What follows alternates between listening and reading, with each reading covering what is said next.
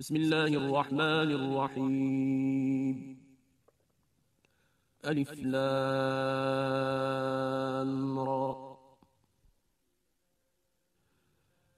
تلك آيات الكتاب وقرآن مبين. ربما يود الذين كفروا لو كانوا مسلمين.